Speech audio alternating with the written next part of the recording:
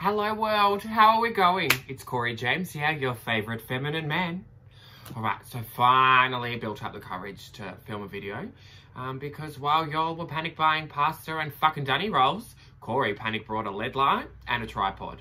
So that during this shitty time, I can bring some light into your household.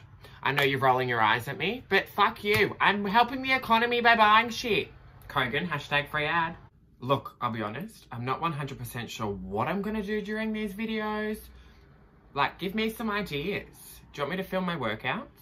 Or I can, like, put some makeup on? There's a little bit on now. Oh, look at that mascara, oh, that highlighter.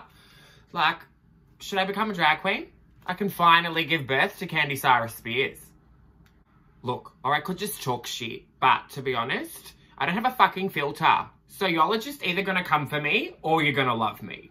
But look, for now, guys, have a fucking fabulous day. And in the words of Godney, I was born to make you happy. Ugh, that was absolutely horrible. My fucking godmother's gonna come for me, yeah?